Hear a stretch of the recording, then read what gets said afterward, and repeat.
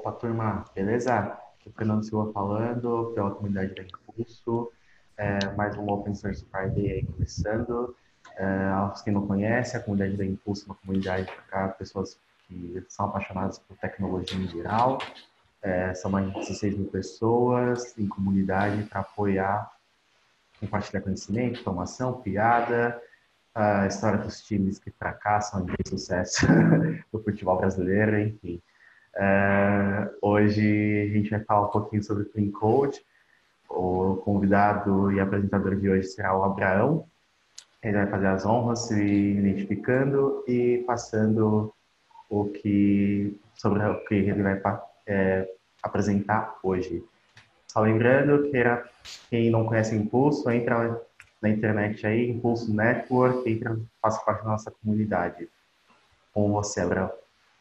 Beleza, brigadão aí, Fernando, pelo, pelo convite, né? É, hoje eu vou falar um pouco sobre Clean Code, né? Mas visando a criação de, de aplicações testáveis, né? Acho que é o mais importante, acho que uh, ultimamente está bem em voga esse, esse tema, criando, criando aplicações testáveis, mas eu acho que ela é, o, ela é só o fim ali. Gente, antes de a gente criar um, a um código testável, né?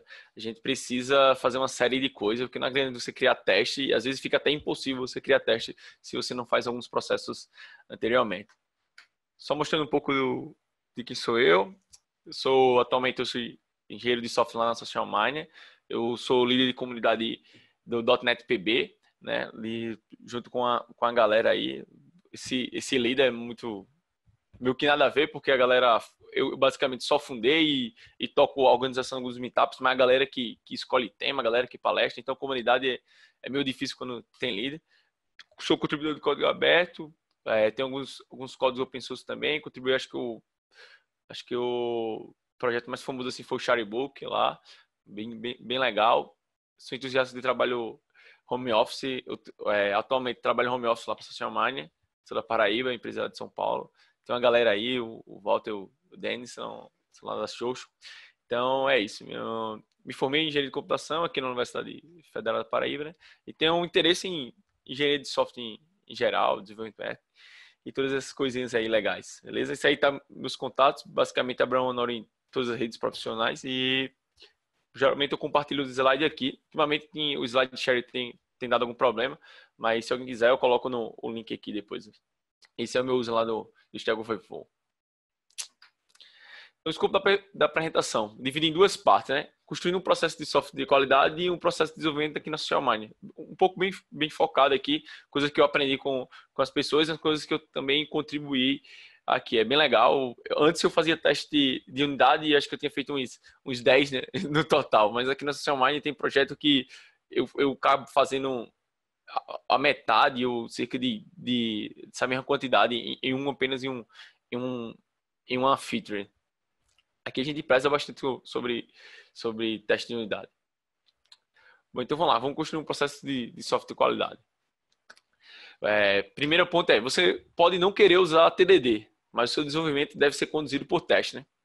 Então, quando você for desenvolver uma feature, você tem que pensar, cara, como é que como é que eu quero que ela chegue, qual o resultado que isso vai ser impresso, né? Qual, é o, qual vai ser essa funcionalidade. Então você tem que pensar em todos os caminhos. A gente pensa só em caminho feliz, né? Sei lá, a gente tem que somar dois números, a gente vai somar lá 2 mais 2 são 4. Aí a gente testa isso aí, dá certo. Mas, sei lá, se eu colocar um número negativo nesse teste, como é que ele vai se comportar? Ele vai trazer o resultado. Se eu colocar menos 2, menos 2, ele vai dar, ele vai resultar em, em lá em, em menos 4 ou ele vai retornar, sei lá, zero ou algo desse tipo, um resultado não, não, não válido. Então, será que ele vai poder ser número é, negativo? Será que nessa soma vai ter poder número negativo? Ah, então a gente tem que pensar nisso. Talvez você não queira fazer TDD. É, e a maioria das vezes eu nem, nem testo primeiro. Eu geralmente escrevo o código eu, e depois eu testo.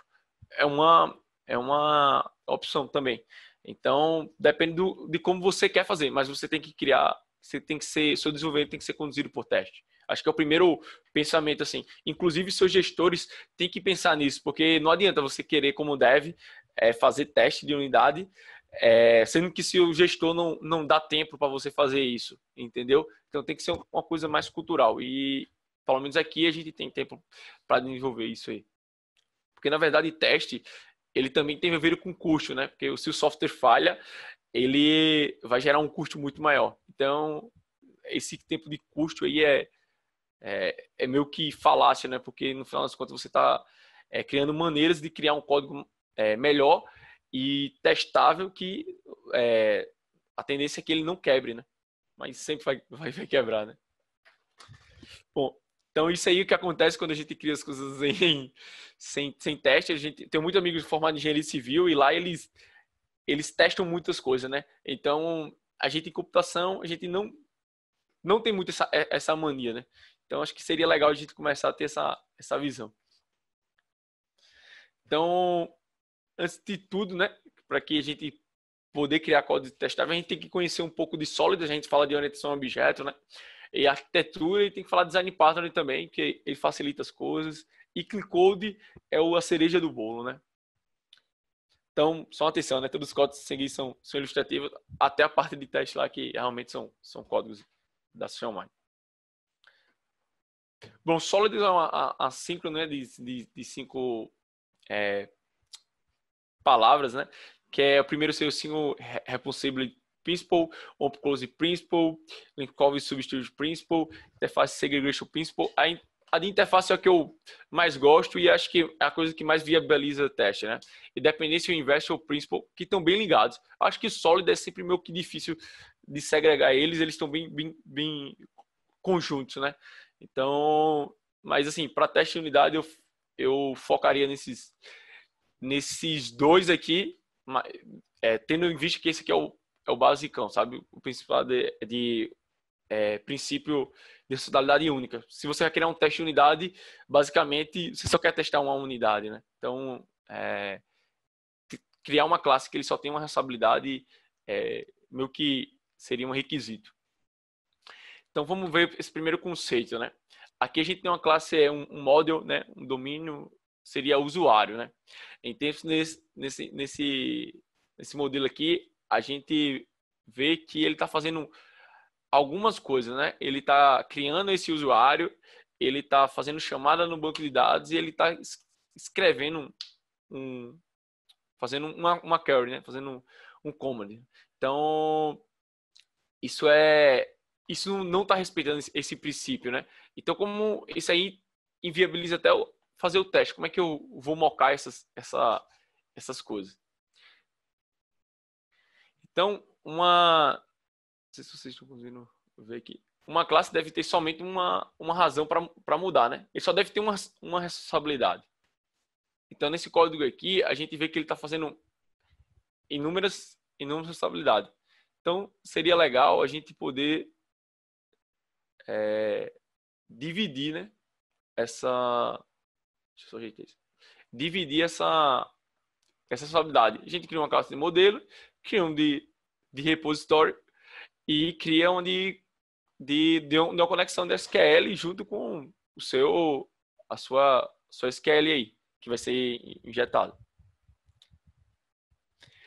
Bom, o segundo princípio seria de, o princípio de aberto e fechado. Né? A entidade de software, né? tanto não só classe, não só modelos, mas funções também, deve ser aberto para extensão e fechado para modificação. Se a gente vê que esse aqui é um cálculo de um salário normal, e a gente vê que estagiário, né, sempre, até no exemplo, ele sempre se ferra. Então, a gente vê que se a gente quiser criar um novo cargo, então, como, sei lá, Medium Software Engineer, a gente vai ver que eu vou ter que criar mais um else if. Então, ele não ele não está ele não tá fechado, né? Então, toda vez eu vou ter que modificar esse código. Toda vez eu vou ter que criar um teste de unidade para ele, né? Então, o segredo seria a gente começar, porque a gente não cria uma, uma classe abstrata, né? Que teria é, salário, goal e um, e, uma, e um método abstrato também, que seria calculate salary. Então, eu defino a minha... Eu distribuí a minha, a minha responsabilidade, né? Cada, cada, cada classe, CTO, cada classe de RID, é, software engineer, eles, eles sempre vão ter a sua função de calcular. Então, quando eu fizer o teste de, de, de unidade, eu vou conseguir separar bem esses. Esse é o terceiro o terceiro requisito, né, o terceiro assíncrono, que é o Linkov Principal, que é a classe base deve ser substituída por, pela classe derivada. Então a gente está falando aqui um pouco de, a gente fala aqui de, de herança. Né? A gente tem produto que ele tem é, nome, ID e preço, e a gente tem outras classes que herdam de produto, que seria fridge e stove, né? Que seria geladeira e fogão lá. Então, eu queria informações sobre, sobre, a, sobre a geladeira, né? Eu queria informações sobre fogão. Então, estou criando if para criar. Então, o if é um problema. Quando a gente, principalmente quando a gente foca em teste de unidade, é, eu vou ter que, eu estou criando condições, né? Então, vou ter que ter um, um teste unitário para cada if. A cada if que eu, que eu acrescento no meu código é um teste de unidade. Então, como é que a gente resolve isso? Criar uma classe abstrata de novo e poder separar eles em dois. Quando eu for fazer o meu teste de unidade, eu só vou, vou testar esse information, essa função de information. Eu não vou precisar criar outras informações. E aí eu diminuir também a, a nossa, a nossa complexidade do, do, do código, né? A interface segregation principle, essa que eu gosto bastante, ah, mas acho que a interface a gente tem que sempre pensar bem no que fazer. Tipo, a gente pode pensar aqui nessa classe aqui do, de employee, né? funcionário. Então a gente tem três tipos de, de métodos, né? Calcular o salário lá do CTO, do RID e, e do estagiário. Então a gente vê aqui é, e, e, cria essa, essa interface e vai calcular os, os salários, né? Então a gente vê que é, nossa classe é, de RID ele tem dois métodos que não são usados. É, é, é, bem comum, eu já vi bastante quando a gente vai trabalhar com métodos é, com repositório, quando a gente vai dar um herdar um repositório lá genérico, aí aquela classe não faz get por algum motivo, né? Aquele, aquela, aquele módulo lá não faz uns get, mas tem lá o, o método get, que tem lá a throw, no, no caso do .NET, né? throw new no implement exception geralmente quando a gente trabalha com, com filas, né, a gente tem uma fila, tem um, uma, uma interface genérica lá e a gente tem essas classes. Cara, isso não, não tá legal que tu vai, tu vai criar uma, uma, um código que não é usado. Então, porque a gente não só calcula, cria uma, uma interface que seria calcular salário, é uma coisa genérica que abstrai tudo isso aí. E, de novo, você só vai criar um, um teste para todos os outros.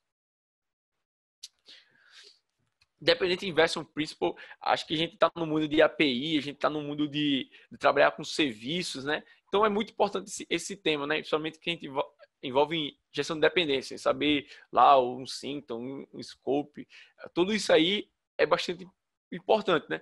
Isso aí via, viabiliza viabiliza nosso teste. É, naquele primeiro exemplo lá que eu mostrei que na classe user tá, tinha uma, uma conexão aberta lá, não teria como eu trabalhar com aquilo ali, porque se um teste de unidade, ele não vai, ele não vai bater no banco. Mas naquela classe ali, ele estava indo no banco. Não teria como eu mocar. Nessa forma aí, já tem como eu criar uma, uma, uma conexão e poder mocar isso aí, que eu mostro lá na frente. Bom, então, porque eu não crio, crio quando eu estava trabalhando com classes, é, é um pouco ruim também, porque geralmente vou ter que dar um new lá e as coisas do tipo.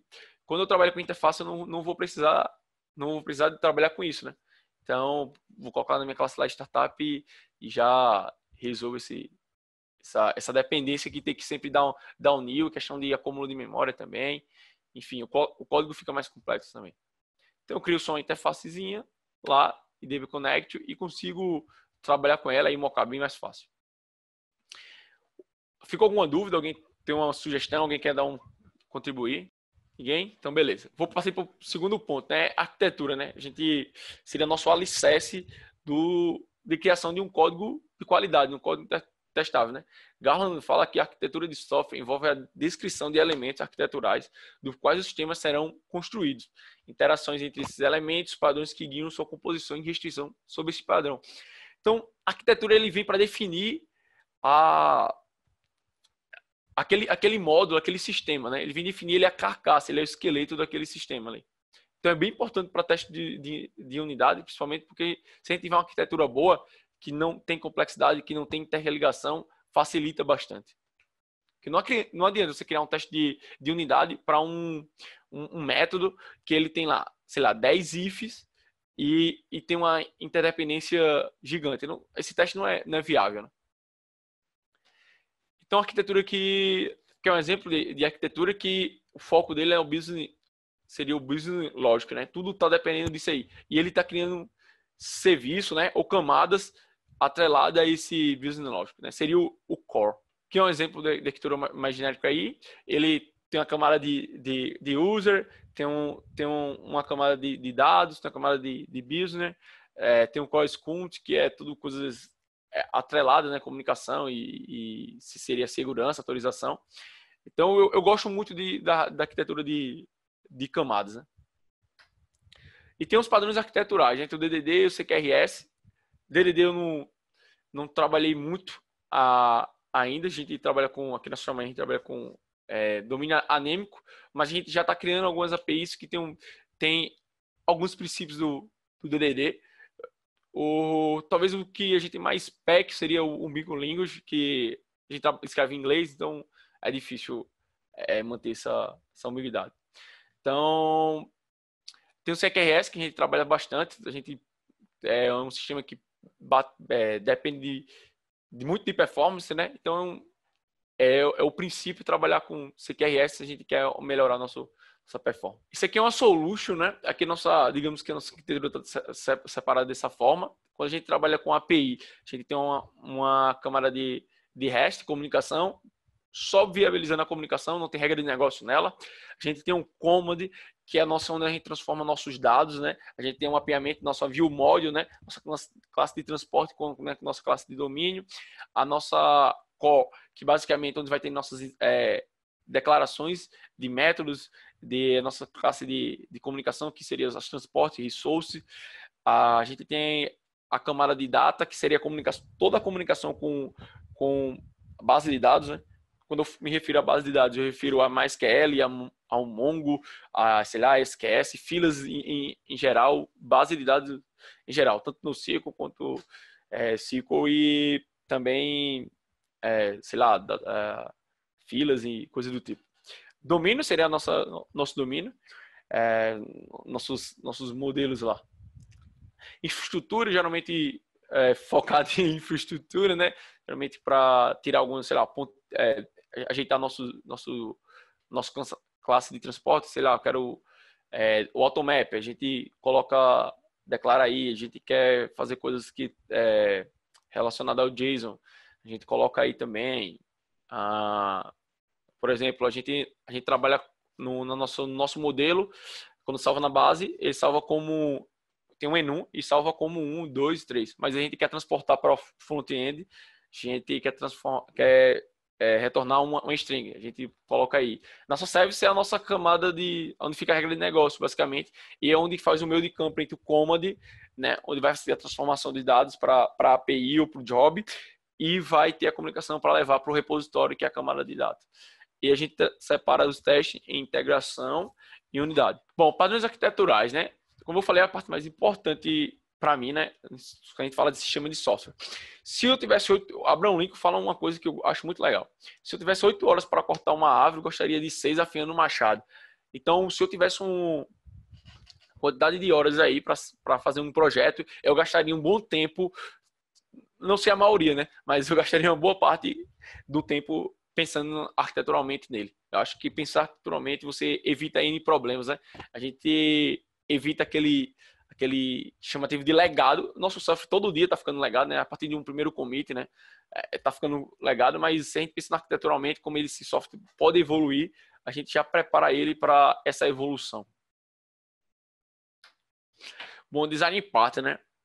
Design partner é bem legal. O Christopher Alexandre fala é, uma coisa que eu, que eu unifico muito, né? Cada parte descreve um problema que ocorre várias vezes ao nosso redor e com isso descreve soluções para o problema de uma maneira que você pode usar a solução diversas vezes sem ter que fazer a mesma coisa duas vezes ou mais vezes. Ah, como eu estava falando, né, sobre o if lá, sobre, sei lá, suite case, a gente tem design partner que resolve, resolve esse problema. Eu não vou entrar em detalhe aqui porque seria só uma talk de design partner aqui, mas eu acho bem legal esse, esse tema porque o mais importante do design partner quando eu converso sobre esse tema é falar assim, galera, aprenda como o, o, o builder resolve tal problema. Aí você vai, você vai, na hora que eu ver aquele problema, eu vou identificar. Eu uso esse padrão é, builder. Ah, não, eu preciso resolver um problema tal. Eu tenho isso aqui. Será que existe um design partner? Provavelmente vai existir um design partner, coisa genérica. Sei lá, o estratégia um, bem, bem usado, o decorator também. Então a gente é identificar o problema. Design partner é, é você entender cada, cada projeto, cada design partner desse resolve. É, o, o, que eu falo até destaquei aqui, o que o Abraão diria sobre o padrão de projeto. Estudo bem o seu problema, aplique algum padrão de projeto quando necessário. Não, também não vai encher seu código de padrão de projeto e tudo mais, porque de fato assim ele cria uma uma dificuldade, é, ele cria uma certa complexidade também. Então, talvez para um júnior, uma pessoa mais menos sênior, pegar aquele projeto vai ter dificuldade. Mas se puder usar, use, entendeu? Use com sabedoria, porque ele vai facilitar. Eu digo que é o mesmo conceito de, do, de usar um design pattern. É a mesma coisa de você usar o, o, as collections daquela sua linguagem, né? No caso, Sharp a gente usa a list e todas, todas essas coisas, a enumerable e tal. É, a gente não cria isso na mão. Por quê? Porque existe já um padrão, né? Já, aqueles métodos já são conhecidos. E se a gente tiver alguma dúvida, a gente procura no Google, a gente está falando uma língua só. É a mesma coisa do padrão do projeto. Ah, não, mas vamos criar nosso padrão, nosso próprio padrão. Às vezes, realmente é necessário, mas na maioria dos casos, não. Então, usa um aí que é mais genérico, as pessoas são fáceis de procurar. Tem vários livros bons sobre o tema. Então, vamos entrar na parte que eu gosto, que é Clean Code, né? Acho que é o basicão de teste de, de unidade. Se a gente for falar, falar de Clean Code, é o basicão para qualquer sistema bom. A primeira são diretivos, né? Que muitos, muita coisa aqui foi baseada naquele livro lá, Clean Code, eu recomendo todo mundo ler. Indentação, formatação, comentários, nomes significativos e funções. Para mim, o que eu mais gosto é nome significativo. Eu tenho muita dificuldade em em fazer nomes significativos, né? Até uma coisa que eu gasto tempo bastante sobre, sobre isso aí. É... Então, eu diria que, que pense bastante quando você for criar seu nome, método, é, e criar coisas do tipo. Bom, deixa eu ver. Então, vamos lá. Nome significativo, tá aqui, tá calcular. Calcular é um, é um nome muito genérico. É... Genérico bastante até. Porque calcular, pode ser calcular o quê? O que é que isso está fazendo? Isso aqui é a fórmula de Bhaskara, né? Então, a gente deveria ter, sei lá, calcular a fórmula de Bhaskara ou algo do tipo, mas não não não está sendo dita aqui. Então, fica meio que complexo de entender isso aqui. Então, por que a gente não já faz uma pequena modificação que seria calcular, seria calcular a Bhaskara. Então, eu já especifico o que aquele método quer representar. Então, quando eu for chamar ele, eu já sei o que ele faz. Mas mesmo assim, eu acho que tem como melhorar esse código aqui. Tem abuse e use de funções. Eu acho que o, o, o basicão ali é criar responsabilidade única, tanto para método, classe. Então, para você criar código testado, você tem que criar várias funções. Porque senão você vai começar ser muito complexo. Então, a gente sabe que na fórmula de Bhaskara tem um delta lá. Então, por que a gente não separa isso aqui e calcula esse delta? Inclusive, delta pode ser usado N vezes e é a mesma fórmula. Então, talvez não seja só, só essa função aí que seja usada. Então, a gente tem vários sistemas que são composição de fórmulas, né? Então, por que a gente não separa cada fórmula aí? Porque talvez em outro momento você vai precisar daquela fórmula e, e você só chama ela isoladamente. Inclusive, para testar, ela é mais, fica mais fácil. Então, funções, evite, né? Nomenclatura curta. É, tem gente que, sei lá, XPTO, é uma função assim, mano, não, não é. é nom, nomenclatura parecida com outra. A gente tem ADT, ADD usuário, a gente cria um, com uma função dessa e, sei lá, e depois no momento cria ADD funcionário, algo, algo tipo muito parecido. Acho que, não, sei lá, se for criar ADD, cria ADD e aquela classe vai estar tá chamando ela, eu sei que é para ADD. Então, cria esses, esses nomes é, distintos, né? E que não sejam correlacionados. Evite gírias, né? Ah, porque gírias já está falando, né? Coisas bem locais. Da forma que eu falo, não é a forma que a galera de São Paulo fala. É, no, do jeito que eu falo, né? Talvez uma galera mais perto aqui como Recife fala, né? Fábio Bispo aí tem, fala, fala cheio de, de gírias. Então, às vezes, eu nem, nem entendo o que ele fala. Assim como eu falo alguma coisa que, a, que você não pode entender. Então, no código, como é uma coisa genérica, a gente tem que criar coisas genéricas, coisas que são entendidas. Então, nosso português ou inglês que você está escrevendo no seu código, você vai criar coisas não, não, tão, é, não tão específicas. Comentários aí. Comentário de textões. Eu já peguei, já trabalhei em sistema financeiro, então a gente já peguei código que tinha um texto lá, uma redação do Enem, em cima daquele método lá para explicar aquele determinado cálculo. É muito ruim porque você já vai com uma má impressão, inclusive, de ler, pegar o código, né? Se aquele código está bem comentado, se, tem algum problema. Então, evite textões, Para mim, eu abomino totalmente. Eu, eu não gosto nem de comentar em código. Acredito que seu código deveria já falar por si só, mas dependendo de alguns comentários que você faça, é, talvez ajude é, no entendimento do todo. Mas evite textões. Acho que uma linha seria, seria é, necessária. Assim, assim como seu commit também deveria ser, ser pequeno. Acho esse mesmo conceito. Parâmetros booleanos, acho que não, não seria legal botar parâmetros booleanos, porque isso aí seria só um, um false ou um, um true. Então, você está criando complexidade ali. Você vai criar um, um caminhos, né? Então, evite isso aí. Não, diria que não, não use, né? E aí eu já estava falando sobre isso, é um menino perguntou, ah, mas se eu tenho um, uma, uma classe que tem um parâmetro booleano, eu não vou passar por uma função? Não, você não está passando esse parâmetro isolado, né? Você está passando um, a sua, sua, sua classe, né? Então você está passando o seu, o seu domínio, então não, não seria não seria esse, literalmente esse parâmetro booleano, né? Quando eu falo parâmetro booleano, é você vai fazer algum, alguma comparação lá. Retornar nulo o valor default, né? Default, né? Então tem tomar cuidado com isso aqui, né? É, às vezes faz sentido você retornar nulo lá, o, default, mas às vezes não faz. Então, você está criando uma, um risco para o seu código, né? Quando você retorna um nulo lá, a gente sabe que essas, a maioria das linguagens orientadas a objeto não, não, não, não trata isso, o nulo, e ele vai dar um exception. Então, vai quebrar seu código, né? Vai gerar uma exceção, vai, vai demorar ainda mais. Enfim, é custoso isso aí.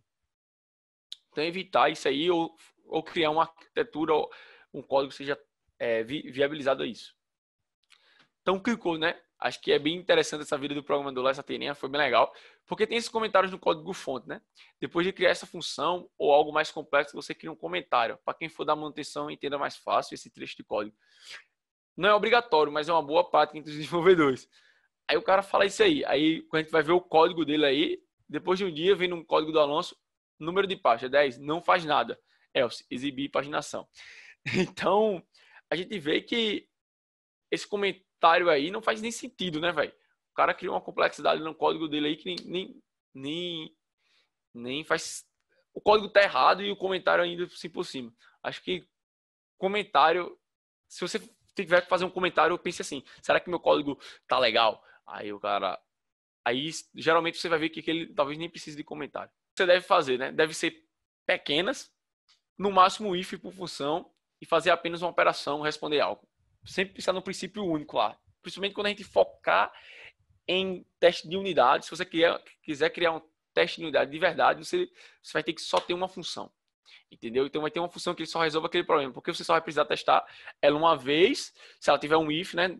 É, duas vezes, se ela tiver alguma questão de retornar um num, exception, você vai, vai também criar. Então você você está modularizando e você aí não cria repetição de código, né?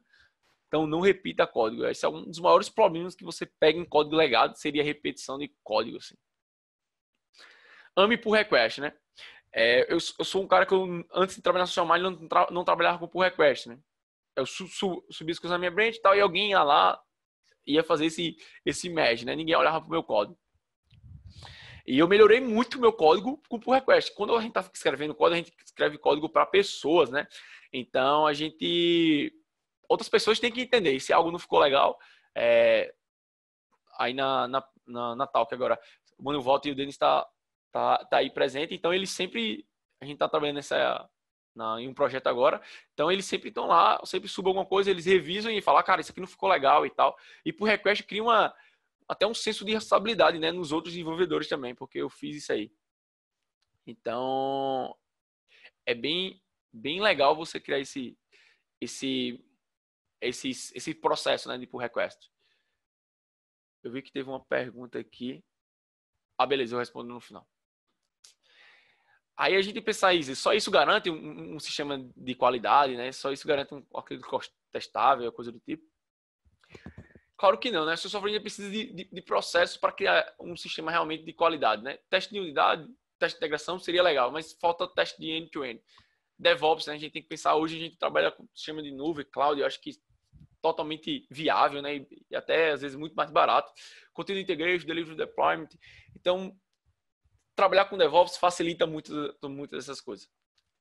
E uma coisa que eu gosto bastante, que eu aprendi muito, foi o monitoramento, né? Então, tenha logs no seu sistema, velho. Ele evita muitos problemas. Ele vai, quando tiver algum problema, você vai achar. Às vezes, só com monitoramento, ali com, com o Kibana, eu já falo mais sobre essa ferramenta lá na frente, mas só sobre um, ter um, um local que você olhe seu, seu, seu, é, o seu código ali, o que está fazendo em produção, você já vai é, identificar esse erro e às vezes você não precisa nem meter a mão no código. Várias vezes eu peguei erros aqui que não era de, de código em si, era só eu olhei o monitoramento, ó, tal isso, esse banco aqui, sei lá, ficou fora.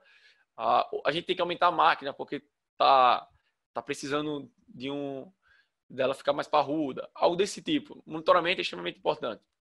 E você pode criar gatilhos, né? Sei lá, no Discord, criar um bot pro, pro Slack, enfim, outras coisas, Rocket chat, né? Então você pode criar várias coisas desse tipo. Então, monitoramento acho que é bem importante. E funcionar, agora a gente vai entrar no teste de unidade, né? Funcionar é diferente de estar certo, né? Então, às vezes a gente faz o caminho feliz, aí tá funcionando, mas quando a gente for ver, não é bem isso. Esse carro aí tá funcionando, né? Mas ele não tá certo, inclusive no estado dele, né? Mas, inclusive, falando de leis, né? Porque não podia ter farol quebrado, essas coisas, papapá. Então, teste de unidade. Isso aqui é um, um projeto que a gente tem de, de export e a gente mostra aqui quantidade de testes que a gente fez nesse, nesse projeto. É um microserviço e a gente criou é, vários, vários testes para ele.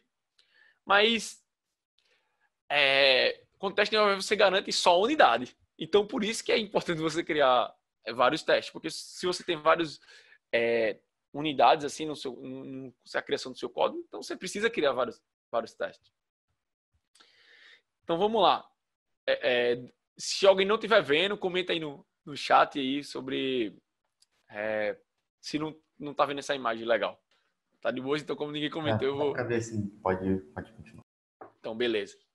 Então aqui a gente está fazendo o seguinte, eu quero eu tenho esse Trigger Read Service Test, que é um, uma classe acima, né? Que onde eu, eu passo.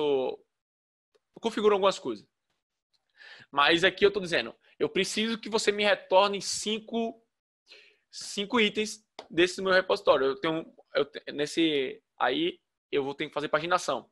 A gente viu lá no anteriormente que o cara fez um fez um comentário lá. Então peguei aqui um exemplo que a gente tinha paginação e vamos fazer tem duas ferramentas que, eu, que a gente usa bastante, que eu nunca não, não tinha usado, né? O mock até eu tinha usado, mas aqui eu aprendi de uma forma mais legal. Esse mock aí, eu vou, eu vou mocar meus, meus, meus, meu repositório e vou mocar tudo o que for necessário, né? É, se, eu, se eu preciso retornar cinco, cinco itens, eu, te, eu preciso configurar esse mock para ele retornar cinco, né? Então, e ver se o meu código está indo, porque unidade já diz, né? Não pode bater lá no, lá no, lá no banco. Senão seria teste de integração. Aqui eu configuro tudo isso aqui. Eu, sei lá, aqui eu dou um reset no, no meu no meu mock de repositório, que é, não está aqui, mas esse carinha é uma é um, de um default mock. E aí eu vou tô fazendo o setup dele. Ó, eu quero que quando chamar essa função retorne 5 quando eu passar é, esses resultados configuros IDs, você me retorne esses, esses IDs. Então, você tem, você tem que configurar. Então, quando eu for listar lá, eu vou dar passar o page, o offset e os meus, os meus IDs. Eu quero que você me retorne essa lista de, de, de objetos. Então, aqui eu faço o meu teste, né? Aqui eu verifico se, se esse teste está legal. É, o response, verifico se ele não é não não está vindo nulo, importante. Verifico, sei lá, se meus se dentro desse do response tem ele tem três três propriedades, né? Que seria a, a data, o status e uma, e uma mensagem lá. E nesse caso aqui o last, o last page, né? Então eu verifico triggers, é, é, ele não pode ser nulo e é equivalente ao que eu tinha configurado. Então, meu método foi lá, eu mandei listar, verifiquei, ele passou para todo o processo, né? No lugar de bater no banco, ele foi esse esse banco aí foi mocado, então eu tenho tenho aquele determinado é, aquele determinado conjunto de dados e aí eu vou comparar. É nulo ou e diferente de é diferente de nulo e diferente de, de vazio e é também equivalente. Eu podia inclusive ter separado isso aqui, comparado só se não é nulo e não vazio e se ele era equivalente a isso aqui. É bem importante você trabalhar com equivalência, porque às vezes, sei lá, o seu dado é, ele quando é lista, a lista pode, pode ser que ele não venha ordenada, entendeu? Então, você trabalha com equivalência, ele ele vai dar certo. Se você está sei lá, só com bi, como nesse caso aqui, tô falando literalmente, ó, last page tem que ser literalmente igual a 2. Então, ele aí tá certo você usar o bi, mas com seus equivalentes, geralmente para é, objetos. Ele é, sei lá, eu o meu create data nesse na hora de retornar aqui veio em cima dessa propriedade e na outra não veio. Então, é sempre bom se ligar nisso. Então, basicamente é, é isso aí. Então, passando aqui, outra coisa muito importante, teste, teste suas exceções, velho. É muito bom saber se o seu código está tratando exceções. Exceções não sempre são ruins. É bem bom. É, a gente viu, a gente está vindo numa onda de notification pattern. É muito bom você trabalhar com notificações. É, a gente sabe que a exception é custosa, mas, cara, verifique se, se o seu código está trabalhando com exceções ou, ou se ele está entrando certinho no, nas except, na, nas notificações. Então, você verifica se você está fazendo a tratativa de erro correta. Então, só dando um overview aqui sobre teste de, de integração, né?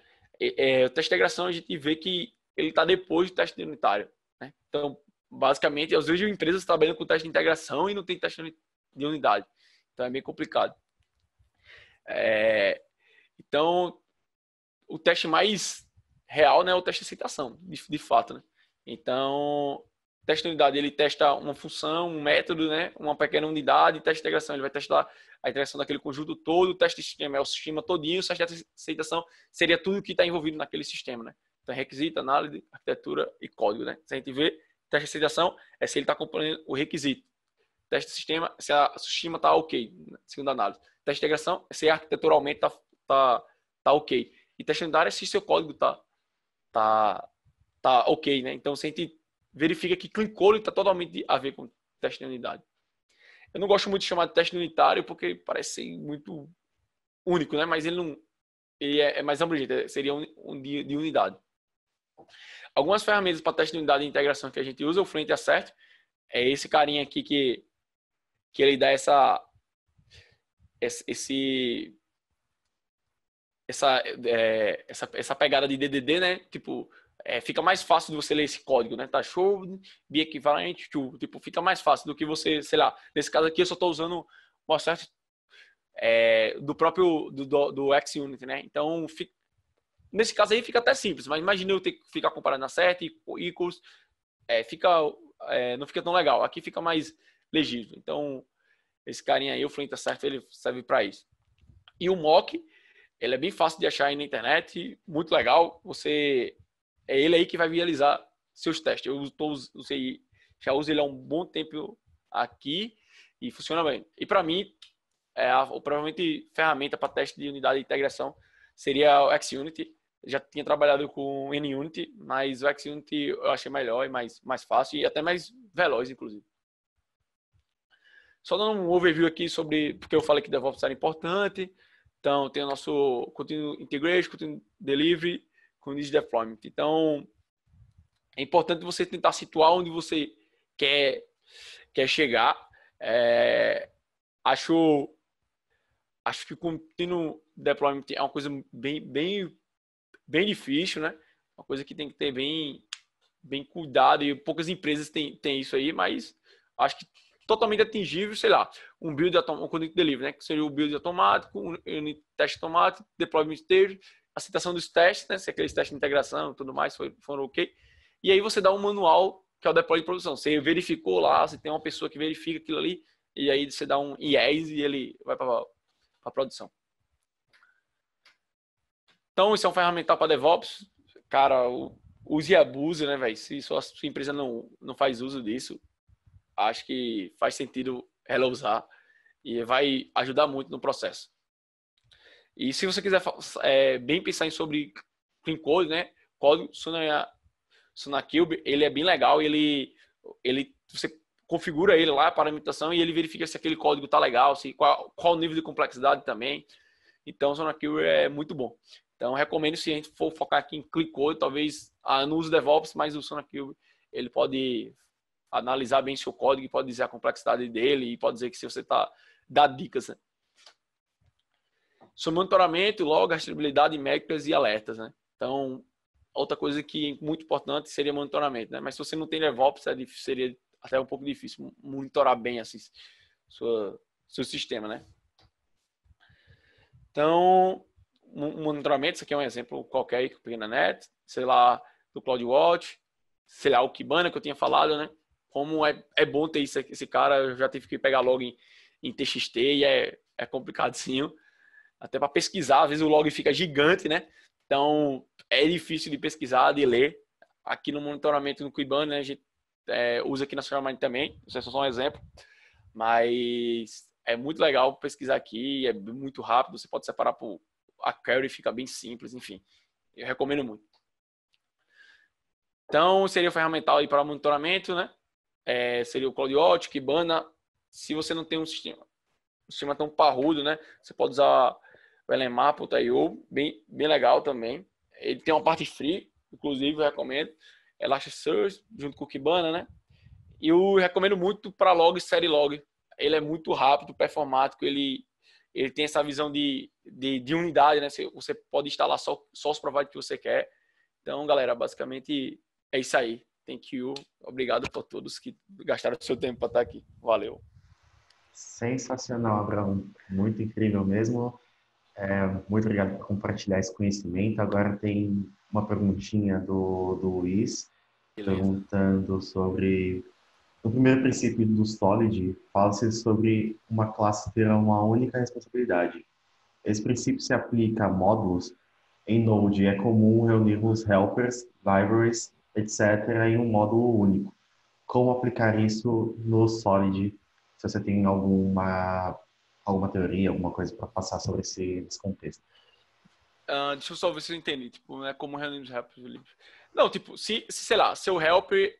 É, se a gente pensa assim, ah, vou, vou falar helper, seria. Vamos pensar em string, né? Ah, eu preciso trabalhar com as minhas strings. Então eu crio um helper para string. Aí eu quero trabalhar com data. Então eu vou criar um helper para data, entendeu? Ah, se eu quiser criar um para pagamentos ou cálculos, eu crio um helper para cálculo. Porque eu já peguei helpers é, que no, no Angular, né? Trabalhando com TypeScript lá e tinha vários helps lá que trabalhavam com data, string, tudo no mesmo, no mesmo canto. E isso é muito, fica muito complicado. Inclusive para você criar teste lá de, de unidade, lá usei o Karma para fazer isso nessa época. Então eu recomendo sempre separar os helpers se for, for necessário, né? Separar em, em contexto, né? A data, eu vou criar um lá. Se for string, trabalhar com string. Se, se for cálculo, eu trabalho com cálculo. Manda aí, Luiz, pode, pode conectar. Ah, tá, beleza. É que assim, é, algumas vezes a gente vê. Eu, eu, faço bastante bot, né? Então, em Node eu não uso classes, eu tenho lá uma função e dentro dessa função tem outras funções, né? Aí eu faço aquele module, exports e importa no meu código. Só que algumas vezes a lógica de negócio inteira está dentro daquele, daquele módulo né, específico. E eu sempre perguntei, pô, como é que eu consigo separar? E às vezes é coisa pequena, sabe? Tipo, ele vai lá, bate numa API, pega, trata aquele resultado e devolve para o resto do meu código. Minha pergunta é, como quando eu não tenho classe, eu não estou usando classe, eu estou só usando um módulo, uma função, se eu consigo de alguma forma é, organizar dentro desse contexto para atender o Solid, entendeu? Sem precisar abrir em diversos arquivos, só para uma coisa muito específica, muito pequena. Então, o Solid ele foi focado são precisos para orientação de objetos, né? Então, se você não trabalha com, com orientação a objetos, é, inviabiliza essa, essa, essa pegada, entendeu? Saquei. É basicamente é isso. Tipo, sólido, sei lá, sólido não funciona para funcional.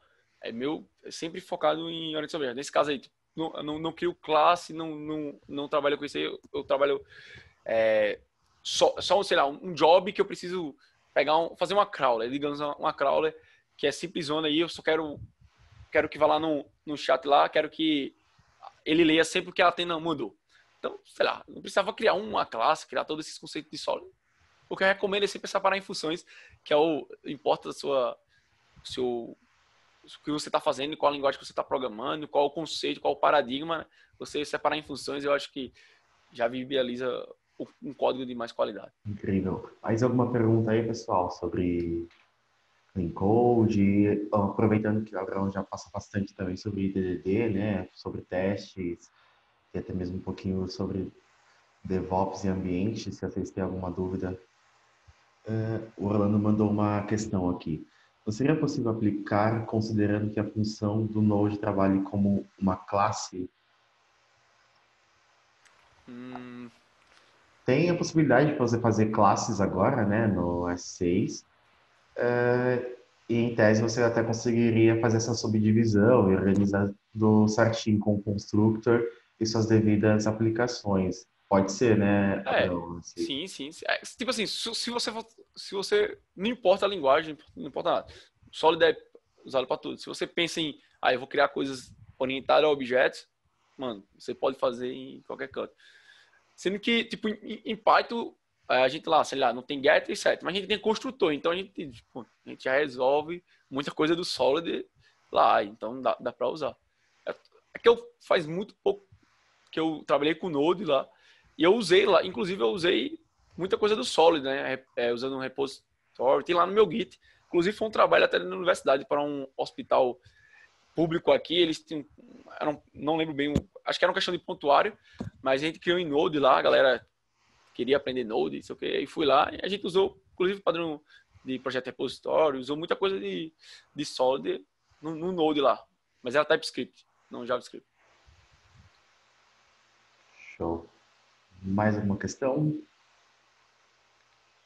Ali uma, duas.